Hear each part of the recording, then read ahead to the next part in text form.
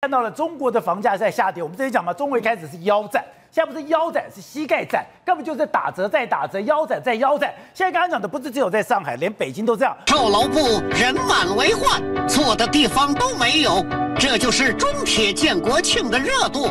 幺零八平，首开就断货。大陆这一个预售屋在十一长假期间挤满看屋人潮，连销售人员也特意来上班。其实我们销售人员大概有五六十人，但这种是完全接待不过来的。那我们会看每天的话，成交量也在三十套左右。那像三号的话，也是有一个高峰期。大陆深圳也开放楼市政策，传出不止深圳民众抢看房，连中东土豪都来买。网络上就曝光好几组照片，只看到有人身穿阿拉伯长袍、戴头巾，还有位外国脸孔的人也在看房，号称是中东土豪大手笔扫货，可见深圳房市有多热。不过却被大陆网友笑称，这个中东应该是指中国东莞吧，根本就是开发商的噱头。这股购房热浪背后，外地买家成为了重要的推手。深圳中原研究中心也指出，在新政实施后的第一周内，找房用户的访问量增长了百分之一百八十。深圳从十月一号开始，跟随上海、广州的脚步，也开放限购令，还取消房屋转让限制，让不少人趁着假期期间踊跃看房。根据统计，九月三十号到十月六号，深圳地区新房成交量就比去年同期增长一倍。十月一号单日成交量更是突破六百套，被形容成是疫情过后难得的景象。现在因为我是那个是要买手套的嘛，也是那种纯粹是刚需的。然后我现在想的就是那，它现在这个包括它那个我那个买的房子一个门槛肯定是降低了嘛。包括一些那个利率，那我后期这个贷款一些东西肯定也是要便宜一些。大陆中央放大招，刺激消费，持续救房市，各界也都在观察这股热潮还能持续多久，而这才是大陆经济是不是触底反弹的真正指标。东森新闻大陆中心综合报道。现在看到了，你再回过头来看，哎，如果他这样子，一千万变成了一哎一千五百万变成一千万，那这些房子暴跌了七十五。那不是更可怕吗？所以现在大家为什么整件事情会讨论的这么呃这么大，就是因为我们每一个人都是郑小姐，我们每一个人都面临到整个中国经济的三杀。股市杀，房价杀，连你自己的薪水都在杀，所以大家都会感同身受。刚提到的，哎，这个北京的这个房子，其实那个也是很可怕。它这个北京当呃，这个北京叫做首创新北京半岛，它当时二零一六年、二零一七年在卖的时候，它是每一个单位卖到两万人民币，别墅区甚至一平要卖到二点六万人民币，所以它当时一个房间这样卖下来，哎，是一百六十万人民币。哎，结果现在，哎，我们这个有讲过，就是到二零呃二零二二年、二零二三年的时候有。一个人，他就想说，哎，这个这个这么好的地方的这么好的房子，一百六十万，我现在去买只要七十万，所以他是把他的积蓄全部都拢了，哎，他就想说，修他想说，哎，我捡到便宜了，这个中国经济你会弹起来嘛？哇塞，一百七十万的房子，我六十万的房子，我现在用七十万都买到了，就不到两年时间，现在变成三十九万。所以连四十万都不到，一百六十万的房子，就现在变成竟然跌到只剩四分之一。四十万。所以后来那个用七十万去买那个也傻眼，他心里想说怎么会又继续跌跌成这样？所以他们讲到说，中国现在类似的故事哦，是不断在呃大城市、中城市、小城市、一线城市、二线城市、三线城市，每个地方都一样。所以每一个地每一个人都是郑小姐，这就是为什么大家才会觉得说，哎，这故事看了让人家真的心心里很难过。你我。这样子听我都感同身受了。是，而且你知道吗？现在哦，就是因为这样子一个状况，中国哦这个年轻人哦，开始都勒肚子。你知道勒到什么地步？二零一零年的时候呢，其实我们那时候如果有去中国的话，就会发现，天哪，那个奢侈品卖的价钱，你真的不敢相信。我去到杭州的时候，一双鞋四千多块。就那那个是人民币呢，一双鞋四千多块人民币，两万块而且是我完全不知道什么品牌，不是不是真的很厉害的品牌，是他们当地的品牌。那这个中国当时经济是好成这样，就你现在看到的画面是什么？这个女生她在讲说，我如何一一个月只花三百块的伙食费，我一天的伙食费只有十块，十块是五十块台那个台币耶。天哪，你五十块台币，你到底要吃什么？一个早餐都不够。就他就告诉你我吃什么，我几乎都以菜为主。然后呢，我可能就是会去我们附近的一个老人的食堂，然后又比较便宜，所以全部反正他其实吃的也很健康啊，全部都是菜。但是看的时候，你就想年轻人，你这样子会不会蛋白质缺少啊？你会不会就有一些这个营养还是不够啊？但没有办法，现在在整个中国的现在都呈现一个叫做报复性的一个存钱，因为每个人都害怕哪一天你已经就真的是没有钱。然后呢，还有。一些什么样的状况？他们甚至就说：“哦，我们要共同买菜，要储蓄伙伴啊。”另外，之前日本的校车事件里面，不是有一个所谓的导货人员或一个保姆，挡住的那个行凶的人就被刺杀。对后来我看了以后，我吓一跳。那我看这个是后来他的照片，他的嘛，他挡住的是脑残凶手的刺刀，维护的是我们国家的形象，他是英雄，真正的烈士。可他以前，这是他，对他以前，他以前是过得非常风光的，他以前过得非常风光，他曾经创业了，他曾经是这个老板，结果他是把，他这个老板他的公司也倒了，搞倒了以后，我就去做这个导护员，结果没想到碰到这样的一个灾难。是，事实上，这个这是英勇的救人的故事哦。就人家现在进一步爬出之后，才发现这女孩子的故事其实也是还蛮凸显出整个中国经济的一个转变。什么意思呢？就是大家在在两千年左呃二零二零年左右，就是当时的经济还不错的时候，哎，她是进行一个创业哦，就是微商的一个浪潮，也就是自己弄一个微型的那个电商的平台。所以她拍那个照片，她当个老板啊，这个叫吉利方董事啊，她当个老板，所以那个拍张照片其实是很好看的，尽力做自己，就是当了一个创业的一个呃呃小资族。结果哎，其实生意也做得不错，风风火火，就发生什么事情？Covid nineteen 下来，然后再加上这个中国对于电商平台的一个打击的一个情况之下，他没有多久的时间，大概两三年时间，他就整个呃就收起来，收起来之后，他原本的一些存款也没了，所以呢，他到后来就变成是去帮人家去做保洁员啊，就是就就去帮人家呃做一些佣，就是这个打扫整理的一个。业务啊，就现在因为好不容易有一份工作，就是当校车的随车员啊，就这样子就没有想到，竟然因为这样把自己的命给赔了。而在中国，类似的故事真的真的非常多。而且另外就是在青岛，之前不是干嘛？有一个保有一个小区，他的保安哎被连捅外卖员数刀。刚才讲，其实这两个人搞了半天都是可怜人。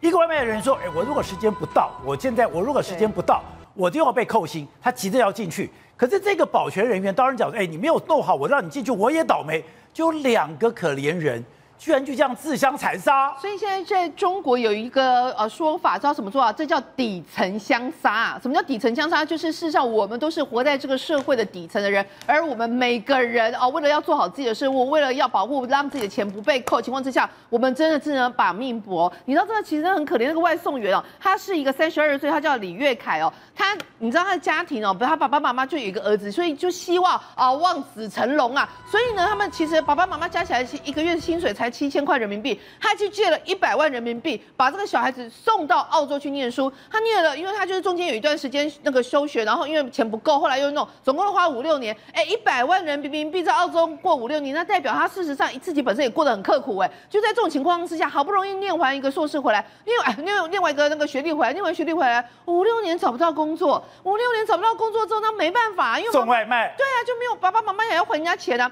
这小孩子其实很认真，他后来就开始就开始送外卖，他一天接单一百多单哦，那个是拼了命在跑哦。所以这就是为什么他要把那个摩托车冲进那个小区，因为他如果不在时间点送到的话，他就要被扣钱。所以他他就是因为这样子，他才有办法一天啊，就是呃开一百多单。他都在拼命送每张单，就没有想到，就是因为这样真的拼命要把握时间赚最多的情况情况下，这这一次真的把命给剥掉了。因为他遇到那个保全人员，他人家也在保护他自己啊。我如果让你这样进来，哎，我这个小区里面我一天有一两百个单子送进来，不然每整个整个大厅全部都是你们保那个这个外地的车子吗？所以他其实是为了要整个社区好，也是为了保护他自己的工作，不然他也要被扣薪水。就两个底层人，就为了一个自己的一个生计，结果到最后闹出人命。现在看到了中国非常可怕的是，有一条新闻在上海，上海已经是全世界最不全中国最有钱的城市。现在传出来消息，他没有钱到什么程度？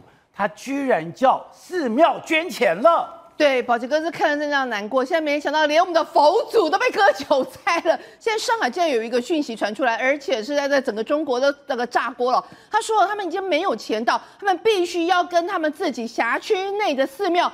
登很金嘛，要去周转这些香油钱呐。他说：“你现在看到四 S 贡献最大，他呢贡献了四十八亿的香油钱给这个上海的这个地方政府。他们就心想说：天哪，一个静安寺竟然有嗯可以周转到这么多的现金？因为现在会发现说，整个中国，尤其是上海这一些辖区里面的寺庙里面，总共啊就登很金借那个他们上海的一个市政府开始啊，就是呃现金大概有一百亿人民币。那现在人家就想说说，你竟然连你自己本身正常的一个办公、一个支出都没有钱，要跟这些寺庙去抓这些香油钱变成是我救命的钱，你就知道现在中国的经济有多麻烦。所以网易当时就有一篇文章，就是地方财政的紧张程度远超过你的想象，我们真的没钱了。后来才讲，我跟静华、静安寺龙华寺、玉佛寺、东林寺、宝华寺、静碧碧云净院、盘龙庵。鸿福是，哎，我要临时借款一百亿人民币的香火钱，作为短期周转之用。刚刚讲哦，虽然后来这个文章下掉了，还说，哎，曾经说我们对不起，没错。可是妙的是，当时这篇文章是很多人在转载，大家都觉得这是真的了。是，而且你知道，宝杰哥，你刚刚你在看的那那一个呃柱图呃柱状图，你有没有发现第一个最高的那个是哪里？上海上海，上海是最有钱的。如果连上海最有钱的他都必须要跟寺庙登很低，那我问你，你其那个其他的那一些地方政府不是全部都完蛋了吗？所以现在其他地方政府说，哎呦，这一招有用哦，那我也要开始去跟自己辖区那个割韭菜 开始把佛庙、寺庙这些香油钱全部说，哎呀，我们有难，那个真的佛祖是不是也要救我们一命？也要开始把这只手跟啊、佛祖开始而且我们看到一个地方的经济跟他的房地产可是息息相关的。其实我们刚才讲，以前讲说，一个房子很惨，腰斩。他说现在不是腰斩，而且不是在其他地方哦，是在北京天子脚下的北京。他说现在的北京的房价已经不是腰斩，是膝盖斩，斩到膝盖了。真的是展告期待，而且呢，这个人呢，你知道他说什么？他说：“我跟你讲，我买这个小区哦，以前呐、在二零二，我是二零二二、二零二三年，也就是那个在 COVID nineteen 的时候买的。我那时候买啊，呃，大概七十万人民币左右。我想说，天呐，我赚到了！你知道为什么？在二零一七年，这个同样的小区，呃，这个被称为什么？呃，天津半岛这个区，哎，在二零一七年的时候是，一套是要一百六十万人民币耶。我现在 COVID nineteen 的时候，我用七十万，我是不是赚到？就赚到啊！结果现在发现三十九万，所以就想说一百六十万，呃，二零一七年到现在竟然四十万不到，到了三十九万，真的是腰斩之后就变成是膝盖斩，这就是为什么人家说膝盖斩，所以那个人就抛出来说啊，欢迎欢迎欢迎大家来当我的邻居。之后，有人讲到了，银行的信用其实跟皇后的贞操一样，是不可以被怀疑的哦。没错当你的银行的信用被怀疑了，你就会有挤兑，你就会有金融风暴。之前我们讲到了，做中国大陆有一个在广东，他说我存了一千万的人民币，到最后，哎，我居然被挪用，挪用只剩下六毛，然后他告诉无门，那你讲说那是单一事件吗？今天有个新的，大概什么？六千万的人民币和二点六亿的台币。二点六亿的台币去存到了，而且是招商银行哦，是中国第六大银行哦，存到这里面竟然只剩下二十五万，二点六亿只剩下二点二十二十五万，然后也是告求告无门，对，没错。上我们我们就讲中国的银行到底出了什么事情。现在轮到招商银行都出事。招商银行，我先跟他讲一下江湖地位。江湖在中国有四大银行，工农交建，但是它大概是第五或是第六大。然后它是最早最早民营化，而且大家都说它的业务能力或是获利都相当好的一家哦公司哦。获利很好如果你是用获利来说，它是非常好的一家公司哦。而且呢，我们先讲它目前的市值大概折合新台币是三点七兆台币哦。这么大的公司，就没想到他居然偷人家的钱，把人家从二点六亿的台币偷到剩下二十五万。你能够想象吗？三点七兆台币的市值，你连二点六亿的钱都要挪用，你到底是出了什么问题？那这是为什么会有这件事情呢？主要就是一个湖北操作公司呢，他就说，哎、他要公发，因为他是上市公司，中国上市公司，他是所以上市公司，对，所以他必对啊你连上市公司的钱你都敢骗，对，所以他必须要发，他发出来就说，哎、我们关于部分银行存款被划被转化为风险提示性的这个公告，这是什么意思呢？他原本存的约莫是折合新台新台币在二点六兆到中国的这个招商银行的南京城北南京城的这个城北分行，就没想到划进去之后，没想到他那个钱我是存在我的账户里面哦就没想到银行跟你说，他已经被划入所谓保证金的这个存款账户。保证金存款账户是什么意思呢？我把它挪用到，因为什么？我哎，我工商银行，我跟着北控公司两，还有这个南京的这个龙龙源龙源的这个惠能公司呢，我在这两家公司呢，我有欠他们钱哦所以我保证我必须要拿出一些保证金去保证他们的票是可以挤兑的，是可以兑换的，所以我就把那个钱挪到这两家公司去了。那这两家公司呢？如果你照理说啊，如果你这个这两家公司是跟湖北的这个操作公司有往来的话，那我还可以接受说啊，好吧，你就把我们的钱挪去还给他们钱，OK。但是后来湖北的操作就说这两家公司跟我们一点关系都没有，一点关系都没有所以就说那是银行你自己挪用的钱到那个地方去。那你说，因为你银行已经现金短缺，所以你在搞这样一件事情嘛。对所以就被他说，哎、啊，你到这起啊，你出什么代你银行真的是没有钱可以去承诺，你承诺人家的钱，你应该给他们公他们的钱啊，怎么会跟我们公司存进的钱是有关系的呢？因为我给你二点六亿，你给我换了账户，换了账户以后，你再放贷给别人，放贷给别人，别人还不了钱，对银行就跟我倒账。对，所以那怎么会是这个样子啊？所以他们就觉得莫名其妙。那你要说只有这件事莫名其妙，没有。你知道最近一段时间，你知道中国很多，尤其是乡镇乡镇地方，很多民众在抗议维权。为什么？你看，所以譬如那不是单一事件，不是单一事件，你看这些，这些都是我们从网网络上或者最近发生，因为现在很多讯息都被屏蔽起来。因为为什么？因为他们等了六百多天，很多中国在在前一阵子很多村镇银行不是说暴雷吗？暴雷之后，他们就说，哎、我们要钱啊，我们要我们这个银联卡完全都领不出钱来，然后他们就譬如说很多时候会到这个高速公路上面去去去这个要求说他们要还钱。那你看，其实不只是河南哦，连安徽啦，很多地方很多村镇银行都是这个样局面，他们都上到高速公路上面去抗议啊。但问题是这些都没有办法，人家都不，人家都没有办法还你钱。那甚至还有一个还有一个账户，就是说一个大连的储户六百天都领不出来。六百天对，六六百天，然后他就自己是捡菜叶过日子。那甚至还有一个绍兴的储户是说，我母亲得了癌症，那我的银行被冻结了啊、我没办法拿钱出来治疗，所以我母亲就因为这样过世了。所以呢，现在我钱存在大连，对六百天都拿不回来，是我的钱存在大连，对结果我每天要捡菜叶过日对，子，所以那，市场现在就是这样子，所以这个大概涉及的规模有上百亿台币以上的钱都完全动动不出来。刚刚讲到你割韭菜，对，割一般老百姓韭菜是一种事，你如果觉得割在上市上柜公司，对。上市公司的韭菜你都敢割，对，就代表你的金融有多大对问，题你可以了试想嘛，我们台湾的大银行，然后去跟上市公司拿钱来，这个哎说我们现在欠钱，我把你账户拿来挪用，这真的完全不能想象，可见他们的金融状况比大家想象更加严重。好，那除了金融状况严重之外，还有一个什么？地方债？哦。因为今呃现在目前为止来说，网络上你可以看到非常多，你看这是什么？这是医院。这是在约莫是在河南的这个医院里面来说的话，这个一一个叫汝州市的这个医院，这个这是妇幼医院。就妇幼医院，你看他们在抗议，为什么？哎，医生就说，哎，我已经一一一年多没有领到钱了，结果他们去跟这个地方的卫健委去抗议，然后卫健委说啊，我们也没钱，所以没办法，这个拉倒。这个太无赖了。对，你今天欠够医生跟护士的工资是，就卫健委就是你等于说有点像他的卫生局。是，我去跟卫健委讲，哎，是你要你要给我钱，嗯，居然就两个字，没钱，没钱，而且他说，哎，我们也不知道该怎么解决，就这件事情就在网络上大家讨论，太夸张了吧怎么吧？会怎么会这个样子呢？那他们因为为什么？因为这家医院其实长期就已经已经就是被列为被执行的，也就是说他过去一段时间营运就不佳，就没有营运不佳。他最近还跟人家买买设备，他最近还买了这个三百万的这个设备，所以就是说，你看中国连医院都这个样子。好，那除了这个监医院之外，还有另外一家医院也是一样。这叫湖南的这个康雅医院，哦。它也是因为康雅医院，他们也算算是当地一个非常好的这个医院，就没有营运。哎我看了这个康雅医院的介绍，对。哎，他现在看起来有模有样啊。对，就没想到他们就说啊，因为我们营运不下去的时候，我们现在要被这个益阳市的这个中心医院呢把我们接管。接管，你看这这么大一个，然后就完全的员工就解聘，解聘的时候，那哎，你解聘可以啊，你要清算我的劳资啊，你要把我欠的钱还我啊。没有，不好意思，没有没有这回事，反正我们就直接把你欠钱就一笔勾销，，就没有，就接收就接收了。所以呢，这他们就说，哎、他们就收到这个通知，他们已经七百多天这样子一直在那边等着我们的钱，就完全都没有。好，那你要说只有这两家医院没有，你看这个江西的这个教师也是一样欠薪水。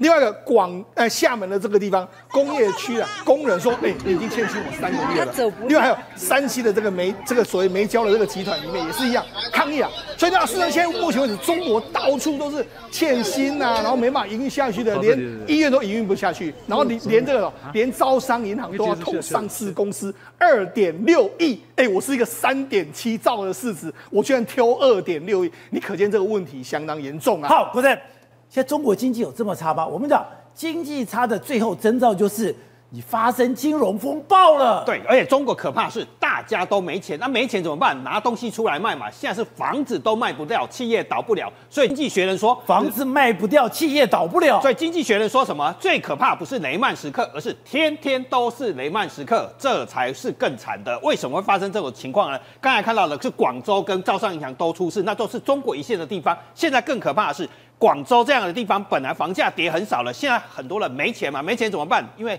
都缴不出钱来，只好把房子开始卖掉嘛。卖掉才有钱啊，不然地方政府怎么有钱？所以现在是保利地产，本来九月一平还可以一保平米利地产是中国保利军方集团的对军方的有军方色彩的，这而且是太子党了。是这件事情可怕不是叠价，而可怕的是当这些价格一开出来之后，民众马上来抗议，抗议之后，地方政府说那不要不要卖了，不要卖了，因为怕丢脸，怕怕会产生是社会暴动。结果没有卖掉，没有卖掉就变成钱就拿不回来。对，所以大家就死了撑死撑在那里，双方就陷入一种焦灼的状态。所以你说现在中国的房地产就变成一个死结了。现在中国房地产就像讲的，我就是卖不掉，卖不掉了以后，我地方根本没有税收，这变成了一个无法处理的问题。那我怎么办？我今天建商我就干嘛？我要折价，折价以后我就要折一价半。可是我已经买你的房子的人，我已经买了你的房子以后，我就眼睁睁看着我的房子腰斩，所以这些有房子的人就抗议了当了。然，抗议有多大？我们看到那个折价，《金融时报》有去算一个数字哦，折刚才看到折价是百分之五十嘛，惠州是广东，再来是武汉，这都是一线城市哦，一二线城市。中国整个房地产总额是有三百兆金额这么多，如果跌百分之二十而已，就是数十兆，你又把三十兆除以二十是六十兆，六十兆，等于全民的资产都会跌到六十兆，这是多可怕的资产减损啊！这 一二线城市全部全部往下跌，所以为什么交易量完全停滞，没有人要买？因为你你不跌价卖不掉，你跌了，人民都抗议嘛，多可怕的资产损失啊！三百兆到四百兆，哎，跌百分之五十，那是无法想象的事情。跌百分之五十，就代表我现在已经买房子的人，我的身价就少了百分之五十了你。房贷还要继续缴你是负资产，你要缴一辈子，你根本没有办法填那个洞。对哈，如果我还要再卖的话，搞不好连我的贷款都付不起。对不起，招商银行会通知你，你还是要把那一笔钱补足。所以你刚才亏了那五百多万，还是你的账，这是可怕的负资产，你是一辈子还不完。但是对房地产业者来讲，一个雷一个雷爆，你不卖，雷会继续爆完。所以最惨的是房子没人盖，没人盖就没有消费，就业率就上不来。你说台湾也受到影响了，当然了，因为中国钢企有二十三家上市公司，十三家都赔钱。中钢寄出了十五年来的库藏股，把自己的股票买回来，因为都在赔钱，没有办法。中国把钢铁卖到全，因为房地产没人盖啊，没有人盖，水泥没有要，钢铁没有要，就业率就上不来，没有人买房子，所以中钢就惨，非常的惨。你看，因为我们的中钢，我们就是很多是以东南亚、以亚洲为市场。现在中国哎根本没有在盖房子，我生产那么多钢，我就低价倾销，低价倾销，就冲击到我们中钢了。对，他们是赔钱卖，所以中钢也不没有办法，外销的部分都在赔钱，所以现在也赔钱。十五年来第一次用库藏股，上一次是金融大海啸，所以这个情况很严重。那连中国的进口也受到影响，中国进口现在习近平开了进博会，这是习近平创造一个万国来朝的景象，就所有国家进口博览会。来买中国的东西，结果出现什么状况？变成小额精、小额重要，没有台商愿意去摆摊，因为都没有成交量嘛。所以抢没有台商要进去，台商本来参参展的加速少了八十一趴，欧盟也没有人要参加，为什么没有人参加？因为我摆摊之后没有成交，变成一场政治大败败。好，所以董事长，现在大家非常关心是李克强，大家为什么这样怀念？就是因为大家对改革开放、对中国的经济还有一点一点的期盼。如果李克强没了，这个期盼真的没了吗？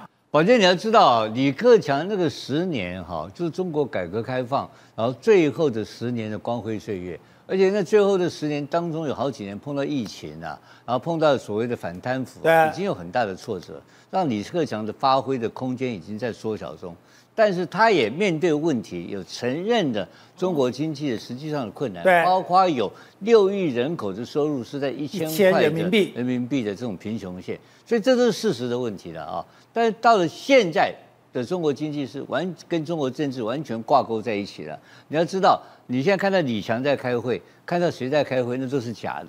真正的决定事情只有一个人，习近平就习近平一把抓，通通抓在手上，没有一件事情不是习近平亲自部署、亲自指挥，这几个字跑不掉的。对，所有的事情，不管大事小事，经济当然是他要搞啊，所以他中国的金融会议也是他主持、啊，对他去人，他连人民银行都去了。他通通都是他管，所以你这边讨论什么经济问题都没有用，完全就是他老大一个一念之间来决定事情。一念他一之间，念之间呢，就是他也他认为就是他一把抓嘛。最严重的问题还不是这经济问题，最重要是失业率的问题。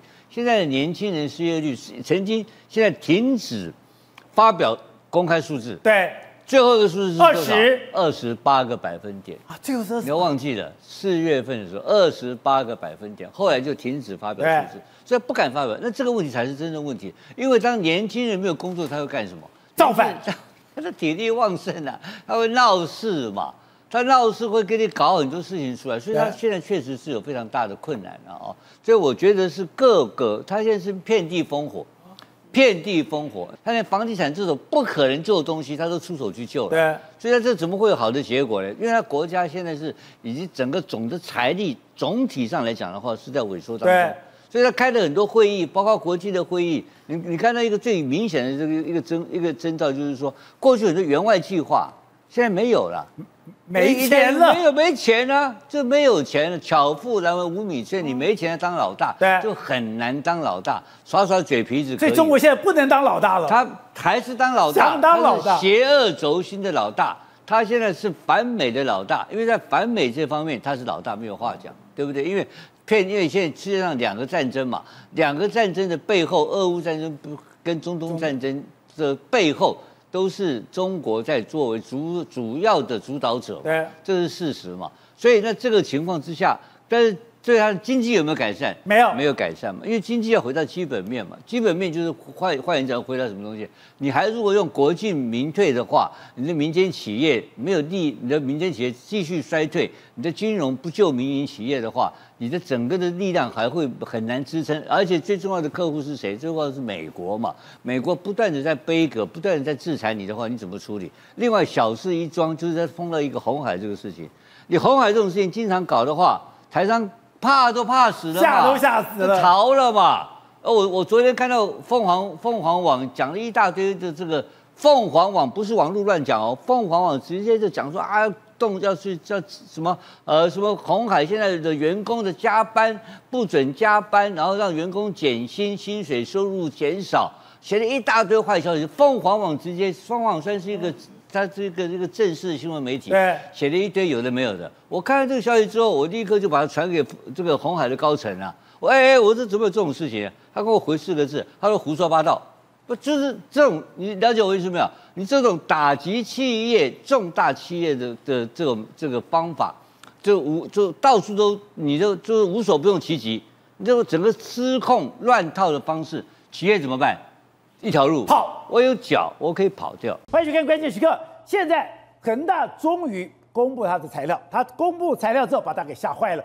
过去这两年，光两年的时间，他就亏损多少？三点五兆的台币。如果整个累计亏损的话，他整个累计亏损负债已到了十点五三兆台币。之后，你说这是一个天大地大的一个数字，而且这个数字大概是等于说地表有史以来负债最多的一个公司。而这样的一个负债代表中国的房地产。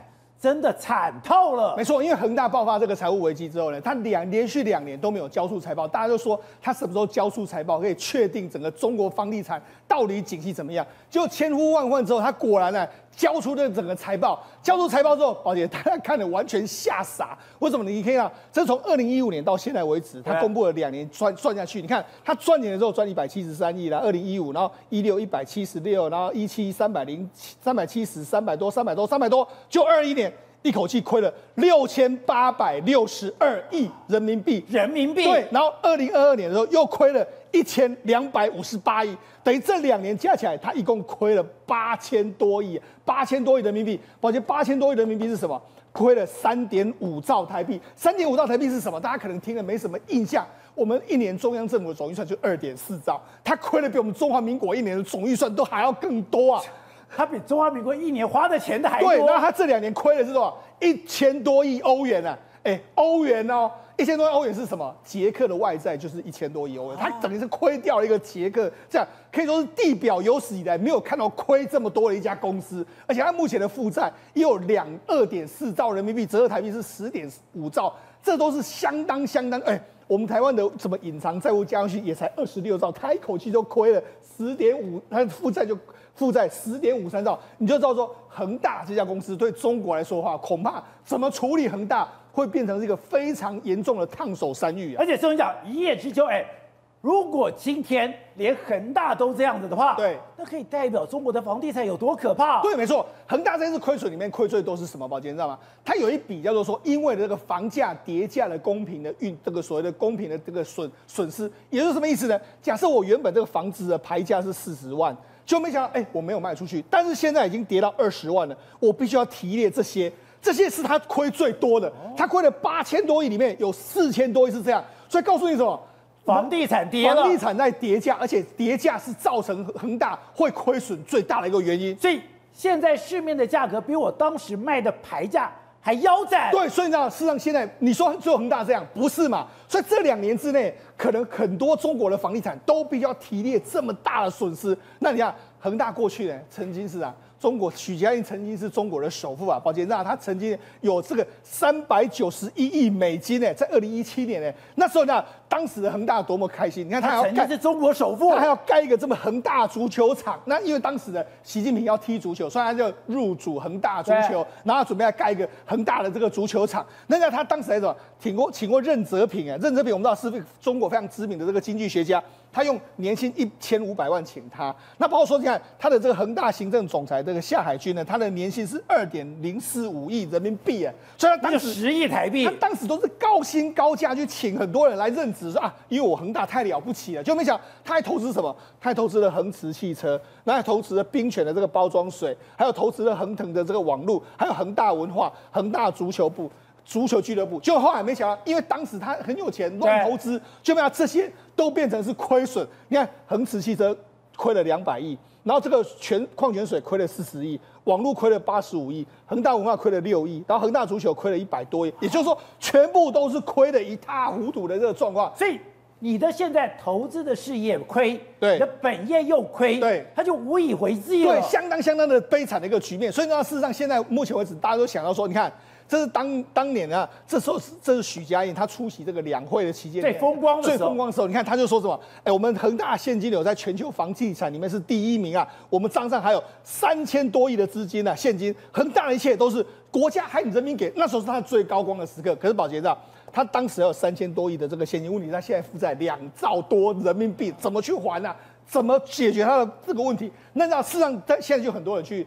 爬书当年这个这个许家印是多么嚣张，有一个中国的收藏家说：“哎，我第一次见到许家印是怎样？他出门的时候旁边都是保镖，保镖，因为他穿着大衣，他穿着大衣之后，他要脱掉大衣的时候，你这个保镖你要把大衣给我接好，然后我要拿出这个这个所谓这个雪茄的时候，你要帮我点火，都都弄啊。他以前的排场是这个样子的，他以前是。我外套丢掉，我就直接脱掉，脱掉。我不是交给人家，是我脱掉，你要接上去。对，后面保镖给我接住，然后我这个要雪茄，你要给我拿雪茄出来，然后雪茄给我放到我的手上，然后点上这个点上这个雪茄的这个所谓火。所以他实际上，哎，以前是这样的排场，现在呢，现在是人人喊打，他根本不敢出来，因为他到什么他不见了，他到他们这个他们的这个老家这个地方，大家都说你这个许家印是我们这个当地之耻啊，所以现在大家都看到许家印都是想要吐他口水，想要骂他的一个状况。所以现在可怕是刚刚讲的，你现在这个负债十点多兆，对，还是你整的很大刀？对，你现在很多，其实你有很多的负债，对，你是已经转嫁给消费者了，对，没错。真的他有很多的工地，工地里面大概两千多户里面，其中刚刚讲的。已经交户的已经有三千三成以上了，对，代表六百多户，哎，是已经交给一般人了，对，所以他弄了很多的烂尾楼，对，弄了很多的这个是保交楼，对，根本就不能用，对，也就是很多人都已经开始在缴这个房贷啦，开始在缴本金都交给恒大，就恒大没有盖完，所以这些烂尾楼你未来怎么怎么处理？包括说像恒大玉湖天下，宝洁那这个原本的这个原本预想图是这个样子啊，然后你看这这么富丽堂皇，就没想到它只有这样。他就把大门盖好，这是他大门，对，大门盖好，但大门盖好了，那你想说，那我们的楼在哪里？不好意思，没有盖，也就是说，他先盖大楼，大楼这个之后把门盖好之后，房子都卖出去了，已经卖了大概约莫百分之三十哦，就没想到很多人就说，哎，那我要回来，我要进来住，就没想到，哎，进了大门之后，想说我的房子在哪里？就是没有房子，他最后把大楼盖好而已，而且你说。这两千多户的百分之三十，对，现在这些房贷是这百分之三十的人在缴，在缴啊，所以他们在，他们还是持续在缴。呃，很多房业主、很多房楼主就说：“哎，难道是我眼花吗？房子不见了吗？是真的没有盖出来。”所以刚刚那个只把一栋大门盖好，对，大门盖好以后就开始卖，卖了三层以后，对，什么都没有。对，还有另外一个叫恒大这个月龙湾，这是也非常有意思，因为它旁边有一个湖景。所以他说，哎、我们这个旁边有湖景，说哇，这样整个楼会非常好看。就没想到盖完没多久之后，宝姐，那它就整个地层下陷。因为可能是它根基没有打稳嘛，所以你看整个地层下陷地层下地层下陷之后，大家去看，哎、你看约莫这个下陷的一公尺左右，就人家发现了，哎、它里面的品质相当糟糕，里面好像这个所谓包括说钢筋啊，很多东西根本就没有做的非常好的这个状况。但在这个时候开卖，因为它这个造景非常漂亮。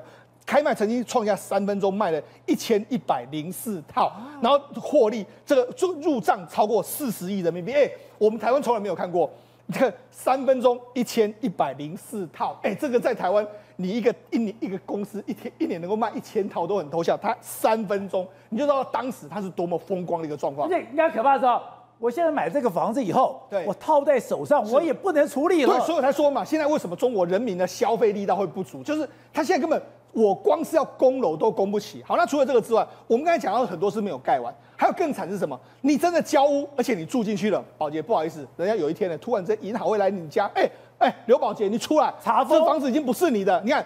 恒大金币五期来说的话，有四百多个业主欲哭无泪。为什么？因为他被查封了。为什么被查封呢？因为他已经落到法拍。没想到，因为恒大资金欠资金这个欠银行，资金欠银行，他就说那这样啦啊，你这个某某银行呢，你欠我钱，OK，我欠你钱，OK，我把这个这个所谓我们的楼呢抵押给你，就没想到这业主都完全不知道，完全不知道，他就完全不知道。没想到交物的时候，他们以为他们物产是他们不不好意思。这个物产已经被流荡到，就被放到这个银行去。那银行呢，它当然要把你查封啊。所以呢，实际上很多都是这样。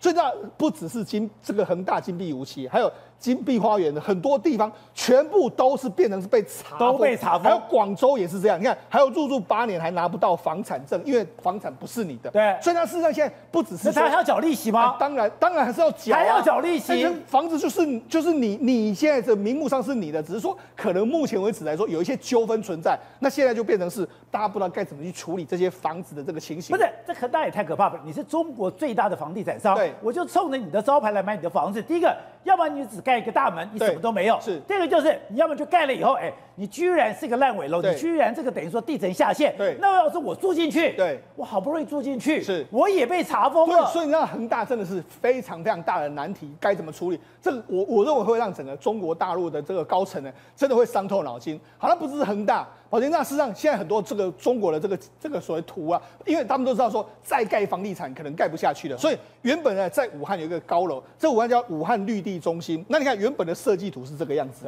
但是因为目前为止来说中国经济不好嘛，所以听说习近平就说这个楼不要这样盖，把它压低一点。所以原本的设计是这样一个高塔，现在变成是这样的这个设计图。那那原原本这里面有什么饭店啊，有酒店啊，就没想到，哎，盖了之后呢，很多人就说，哎，那为什么我们现在没看这是它内装啊，内装。这样多难看，对。你就像一个断剑一样，没办法，你要硬是要把它折断。原本是说它它等于高度降了约莫百分之二十五，从原本的六原本的六百三十六公尺呢降到四百七十五公尺。那因为你要改设计，最好的方式就把上面截断嘛，那截断就变成是这个样子的一栋楼。金融时报都在嘲笑他。是包括我们看，你本来盖一个这样子，哎，其实非常有现代感，有对。它的这个这个曲线，对。就硬生生把它砍断之后，对。咱们看，连金融时报都说，那不是断线断线了吗？很很不好的这个兆头。那好，那因为酒里面有看有酒店啊，还有一些这个相关的这个单位，就没想到哎。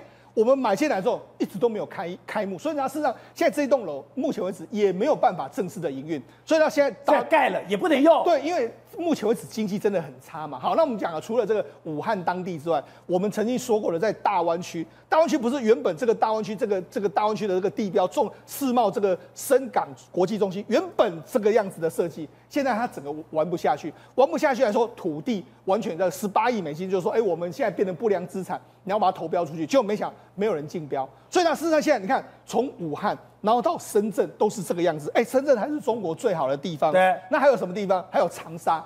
长沙现在是什么？因为长沙有一个土地，它这个土地来说是长沙市的这个零零九号的这个地方。那这个地方呢，原本他们说，它这个地方在这长沙长沙这个梅溪湖这个地方，你看这是当地最好的这个地段。哦那当地最好地段的时候，原本这个得标的这个单位呢，他说，哎、我们要盖这个盖这个所谓大楼啦，还要盖很多的这个这个楼，就没想到后来他就说啊，不行，我营运不下去，因为我我没办法，因为你还要给我保证。保证说什么？哎，我盖完了之后呢，要缴纳税收要低，呃每年不低于一点五亿啦，然后怎样一个状况？所以我没办法盖，因为我知道我盖，我拿了这块土地来盖之后，我我必死无疑。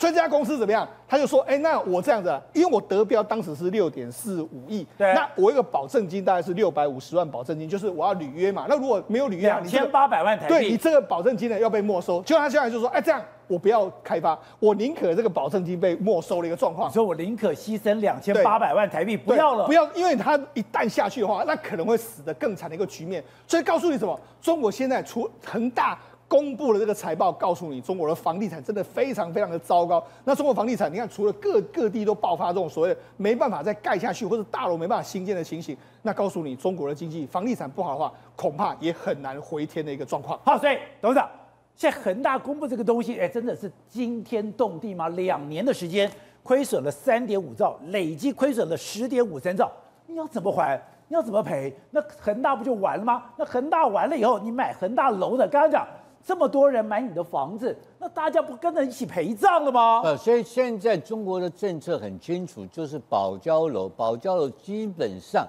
是保护消费者，他希望消费者最低的一个限度，他们政府能够出钱，能够保护这些人。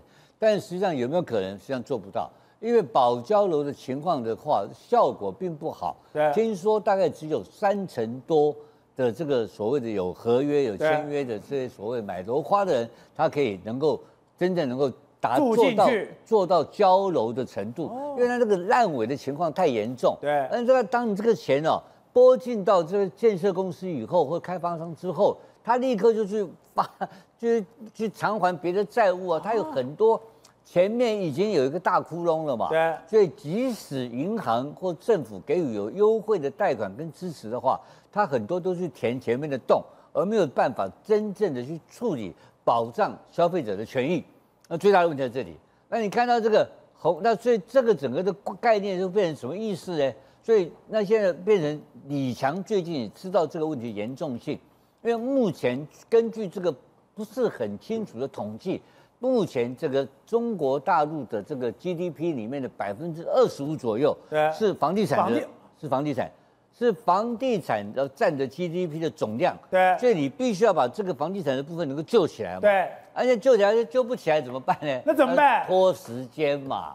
所以中国好现在就拖，中国会拖，因为中国是最大的，有可能是最大的债务人啊。因为现在这些所有的背后所有的收入是谁收入的？房地产经济就是所谓的地方政治、地方政府的土地收入的对经济嘛，对不对？所以他已经收钱收回去了嘛，他也不会吐出来嘛。所以我刚刚讲了，这整个事情除了拖以外，没有第二条路可以走下去。然后第二个问题，你看到他的里面的这些人，当时的这些人多嚣张。你刚刚讲的脱一个衣服就有人接把你接的衣服哎衣服接过去，手比一下，烟就来了火就来了这个叫什么的？所以中国的这些的暴发户的富富豪，本身的态度跟心态啊是最恶劣的。鲁迅以前讲中国是人吃人的社会，到现在还是。他这个房地产是最明显的啊，就是政府吃跟开发商联手嘛。对政府现在收税收不够，因为逃税啊、乱七八糟的营私苟且，所谓的寻租的这个政寻租的风气弥漫了几十年嘛。对对不对？然后他他跟房地他这个房地产经济最好搞啊，对，你去做外销，你去做工，然后我现在给你批一块地，批一块地，我就跟你开发商两个勾结嘛，怎么搞那么大嘞？这么大这么大，怎么可能呢？你说这个洞也太大了吧？那背后就是难道他恒大自己吗？为什么那么大不愿意？你知道台湾的话很早就一天解决，宣布倒闭呀、法院就给你解决掉。为什么他这边还在拖？对，我告诉你很简单嘛怎么，样？背后有人嘛，背后没有人，这这个早就完蛋，了。你怎么可能两年不公布财报？不，这个我所以说，而且背后有的人，这些还一定是跟现在的当权派挂钩嘛。如果是早期的当权派，哎，早就干掉了嘛，早就动了记得以前那些什么平安保险，还有一些其这些这些那些一些一些搞搞什么包头银行这些人，一抓起来这个案子就解决掉了，最后一打折，资产就变成归零了，你看到没有？对为什么这个不能归零？简单讲就是说跟当权派有关嘛。那当权派谁我们不知道，所以这个里面还在用这个所谓的权钱交易下的产物，那老百姓的老百姓当然变韭菜嘛，这个没有话讲。所以恒大的事情呢，不用谈，他现在不想解决才是真正的问题。不想解决，解就宣布倒闭不就解决掉了吗？他有欠很多外资的钱，那你他愿意要帮他外资钱他不还呢？那利息也不给了，所以在这个背后，所以我讲的，基本上存在一个是一个他的基他的所谓的权钱交易的结果。对。然后这些操作的人经营者本身没有道德的，他没有道德的嘛，他们很低，他们是一个很低级的，他们没有知识分子，没有知识。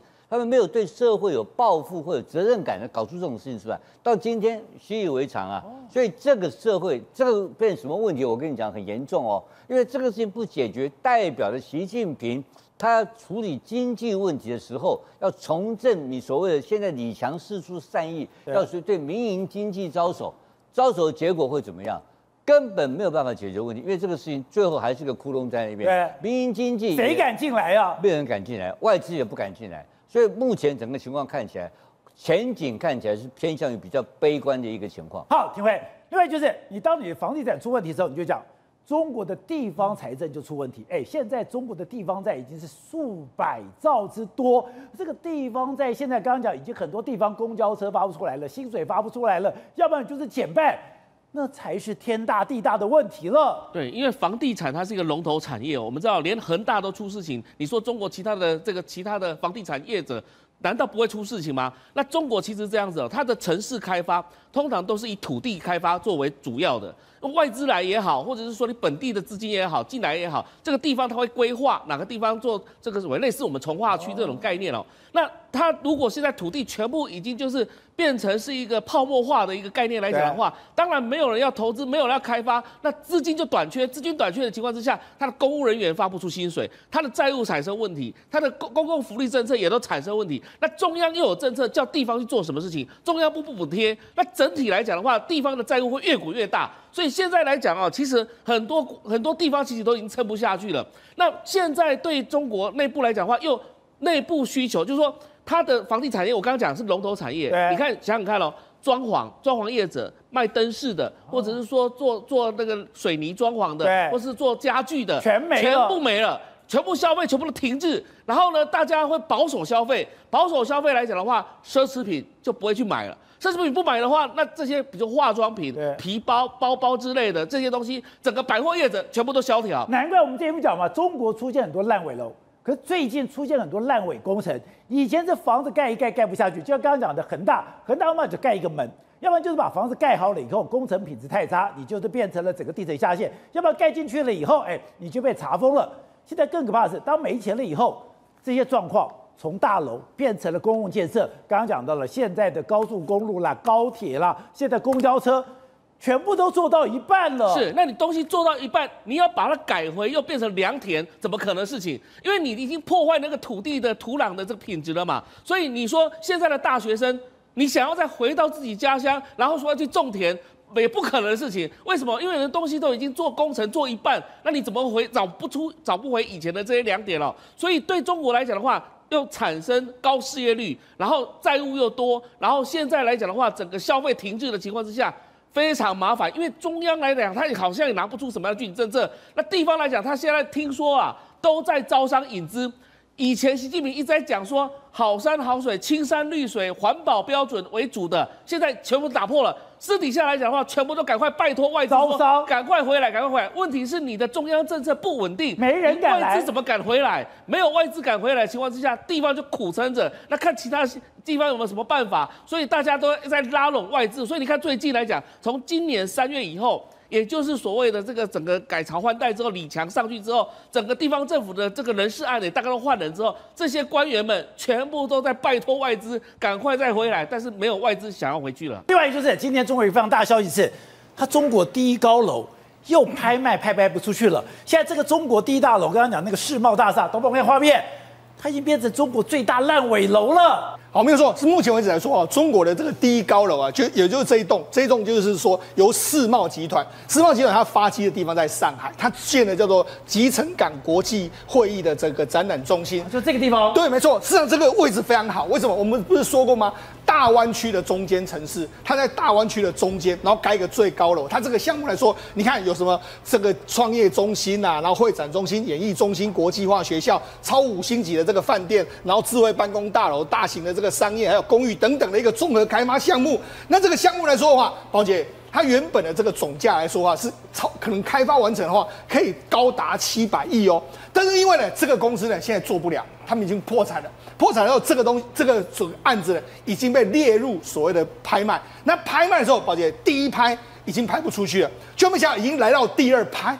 第二拍的意思是什么？第二拍的意思就是也就是说，它已经来到原价的百分之六十。哦，因为第一拍的话就百分之二，就减百分之二十，从百分之八十开始拍嘛。然后第二拍再减百分之二十，所以只有百分之六十左右的这个价位，就没想到目前为止来说还是拍不掉。哎，所以打折拍不对折了，已经打了这个六，已经打了这个四十 percent 不见了。所以它实际上目前目前为止来说，百亿左右的这个资产，目前没有人要接盘的一个状态。好，那不只是这个所谓世贸的在中国的第一高楼没有人要接盘之外。宝姐，还有最重要，事实上这个世贸集团已经真的是完全完蛋。它事实上还之前呢。还把这个下这个在伦敦，因为他在伦敦金融城下面来说的话，他还有一块地哦。他在伦敦有盖房子，就没想到他就说，那目前为止我们就准准备把它卖掉，卖掉之后，所以你就知道，事实上目前为止，他整个公司是陷入一个非常大的财务危机。大家都问说，他有可能会在接下来的这个状况里面会出现类似恒大倒闭的这个局面。但之前不是讲什么深圳这个所谓的像这个什么的东方太阳直接窜升吗？对，但是问题是现在对深圳来说真的相当糟糕。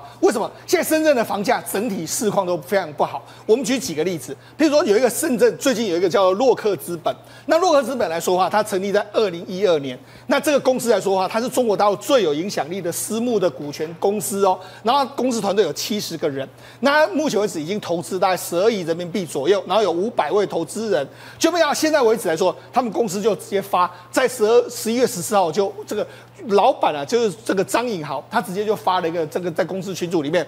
我要走了，你们也走了，就这样子，然后人就不见了，然后人就不见了之后，那你要收到一个公司，也没给人家交代，你基本上你的离职金、你现在的资遣费都没有交代，我要走了，对，你们也走吧，对，就没想到听说目前为止来说，这十几亿元呢，他自己卷款就跑了，那跑了之后，结果没想到媒体要去查，哎，他们办公室，哎，办公室就真的完全都没有人去楼空，已经都完全人去楼空的这个局面。好，那你知道，事实上深圳目前为止压力非常大之外，还有另外一个地方就是北京，北京也是一样。北京最近一段时间突然出现到豪宅出出现非常多的这个抛售潮，他就说什么？他就说目前为止来说很，而且很多人之前卖买卖了买了房子之后开始退，所以你看根据这个中原地产的首席分析师就是说，九月初卖了退了三十趴以上，也就是说大家买了之后好像无力再缴还，所以也就是说他宁愿违约也要把它退货的这个状况，所以这是全面性的，对深圳。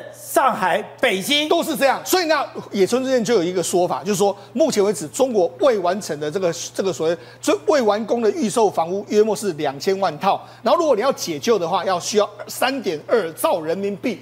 但目前为止，中国根本无没有财政问题可以负担这些状况。大家就讲到一个人，叫做苏世民，哎，他就去了，而且他大拉拉的去了。那大拉拉去，他也坐到主桌，他也花了四万块美金坐在主桌，那不错啊。对，结果坐在主桌来说话，人家就说：“那你到底这个习近平讲了这么多，那你到底跟习近平讲了什么？”原来是什么？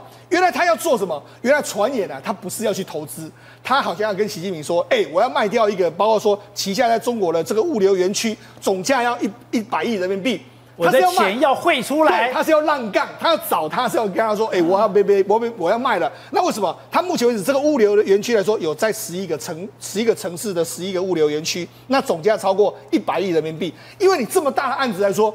没有这个高层点头，恐怕是没有办法。所以他不是去投资，是不是让杠？他要让杠。好，那那他要让杠的话，为什么要让杠？我们给大家看一下。是在他投资很多物物流园区，就有点类似这个广地广州的这个空港物流园区这个地方。广州对，广州这个哎，广州照理说是非常好，对不对？他收购了这个地方之后，结果没想到都还没完工哦，都还没完工之后，他就说我要我要撤退。为什么？因为他看到整个中国的房地产，整个中国的这个景景气相当糟糕。我盖的这个物流园区，问题是如果没有人来这个工作的话，没有人来使用的话，那当然我就宁愿这个赶快就能够脱手就脱手。所以这次苏世民是要去跟习近平说我要走，跟大家认为说哦他要去拍马屁，好像是一个不太一样的一个局面。另外就是，这你可以感觉到。习近平在这个国内重大经济的压力下，他不得不到美国，不得刚刚讲的不得不对美国示弱，而示弱到美中国经济有多惨？我看了这个东西，我吓一跳。等会再看啊，这个是在四川，你现在在四川，你家里哦碗筷不洗罚十块，你碗筷东西摆放不正常罚十块，你如果蹲在地上吃饭。也罚十块。对，我们现在讲的话，经济上面的一个困境在于他们的现金流，现金流弄不出来。所以呢，在过去来讲的话，不管你是用新能源车，也就是讲的电动车，你在路上面走，你随时都有可能会被罚款。那个时候已经引发民怨了，但至少你那个时候在外面嘛，对不对？但是这个就厉害喽，这个四川的这一个地方，它是罚款检查你家的内务，在家，对，就跟你当兵一样。查内务，对，查内务。你在厨房碗筷不洗罚十块，然后呢摆放不整齐。我想摆放不整齐，不就筷子碟盘？你要怎么摆放？最可怕的是最贵的蹲地用餐二十块。什么蹲地用餐？我不能蹲在地上吗？对，有些时候你就想吃个泡面，你蹲着不行，这要罚到二十块。但是最可怕的一件事情是说，你做餐厅厨房也就算了，这个你的卧室卧室是最可怕的，衣服你没有叠整齐。罚十块，然后呢，被子没有叠放，就是先拉四里面搅的个豆腐干，被子没叠，被子没叠罚十块，四件套未清洗，哇天哪，四件套是什么意思？你说被子之外，你的枕头套、床单，每天洗就像不像我们小学时候每天要准备什么手帕、卫生纸？这个东西竟然查到你家里面来，网络上面传出这个的时候，很多人讲说不可能。怎么可能再缺钱不会查到人家的卧室，不会查人家厨房吧？结果呢，一看官房，人家证实了，真的，真的。而且呢，四川还告诉大家说，不是我们而已，陆陆续续有其他的这些政府机关也要也要出台这个政策。这些可怕在哪里？可怕在哎，我如果罚款，你还不改变。我第二次检查，我的罚款就翻倍，也就是我第一次到你家，你的厨房碗筷不洗，我罚你十块；第二次在你家，你碗筷再不洗，我罚你二十块；你再不洗，知道你罚你三十，还罚你四十嘞？对，会翻倍再翻倍。但这件事情比较可怕的是说，难道你被抓到一次之后，你睡觉的时候，砰，城管就进来了，来看一下被子。这个东西，这直接会进到人家家里面，大家大家觉得非常的可怕。但为什么这个样子？你十块五块，你觉得对财政有有帮助吗？其实很多地方县市，尤其是第三线、第四线的城市，是真的需要这一点点钱来发薪水。有缺钱缺的这么严重吗非常的严重。你看哦，这个东西在哪里？在天津市。你看。北京、天津都是一级城市喽，很多的交通局，哎，这是他们的公务人员，交通局要去喊薪水，喊啊、叫啊、闹啊，那有一些公安就来讲说，哎呀，大家体谅啊。我觉得他们回了这一句，我才怕。哎，我们被欠薪不是一天两天，不是一个月两个月，他被欠几个月？九九个月。欠薪九个月，你要体谅，你要大家怎么体谅？你没有给我任何薪水发放的这个所谓的计划，没有薪水发放的这个所谓的程序，你只告诉我大家体谅。对，就是叫大家体谅。然后呢，你们都还是公务人员，你要体谅。但是九个月是真的撑不下去了。好，这个是在天津，江西呢有老师。老师上街头了，老师一直喊着什么？我们要活命，为什么要活命呢？因为没有发工资，没有发工资的情况之下呢，也是被武警来驱逐。驱逐之后呢，他们就直接喊，那就罢课啦。我们平常在教课堂上教这个东西，但是我们还是要生活，没钱呐，没钱，那就是没没办法。他说你们给一个 d a y l i g h t 不给时间的话，那我们干脆就罢课，连老师都不要去上课了。而且刚才讲，你如果是公务员的多，那个一般民间。那不更惨了吗？一般民间更惨了。我们来看一下这个地方呢，你知道佛山的工厂呢，现在来讲的话，在过去你现在应该加紧时间，因为你这马上春运要开始嘛，你要赶快提生产的，没有直接。下课了，直接就这样子放假了。然后你看，然后就说那那就吃自己吧。到目前为止，你都你你都没有继续要做。所以佛山的工厂、温州的鞋厂都轮流停休了，也都空了。那最可怕的一件事情是说，到底经济差到什么样的情况？他们说马上就是立刻停止，就不用上班了。通知大家呢，你现在来讲就直接放假，然后什么时候开工？宝杰哥，过去来讲的话，我们讲正年初几开工，初五开嘛，因为你要迎财神嘛。你知道吗？这家公司全体员工望周知，你定初步定于什么时候开工？二零二四年，明年哦，二月二十四号、二月二十七号是什么概念？正月十八，哎，过了元宵了，过了元宵，哎，不是要初大年初五来开工吗？因为大年初五开工是要顺便迎财神、放鞭炮。你现在财神你也不用管了，你就是正月十八，然后而且他非常赶哦，跟你讲。十一月一号公告，这公告时间十一月一号，对，十一月三号就放假。这个更妙，湖北全程信密，这个什么精密电路，他什么时候发文？十一月三号发文，什么时候放假？四号就放假对假，，就是马上放假。然后呢，不只是一间公司，你看这间公司也是告诉你说，整体经济不好，然后结合公司现状，各部门业务，这个是什么？已经停止了他不是先跟你，这个还是先跟你商量，这个是已经停止了。然后呢，就告诉你什么时候回来，二月十七号回来，这都不是最可怕的，还有那种直接停半年的。直接停半年就告诉你说什么时候回来，四月再回来。所以呢，现在来讲说已经看不到未来了。而且野生证券最近做了一个报告，我们讲野生证券对中国是非常熟悉的，做了很多重磅的报告。他说，哎，现在中国的烂尾楼有多少？两千万，对，两千万套。他说明年会业力引爆。我们来告诉大家，野村证券讲的这个两千万套有多么可怕。之前恒大，之前碧桂园，碧桂园那个时候呢，未完工的数量才多少？多两千万套是。碧桂园的二十倍，然后这个状况会造成什么样的一个情形呢？你没有办法完工，你就无法交屋，无法交屋的话，对人民来讲的话，他买的房子你要不要公款？要公款，你就要搬进去。所以现在来讲的话，你很多的地方啊，烂尾楼，你拿手机打开打开手电筒，你也要进去住，甚至网络上面现在的热搜是什么？教你如何住烂尾楼，没水没电，我还是得住进去。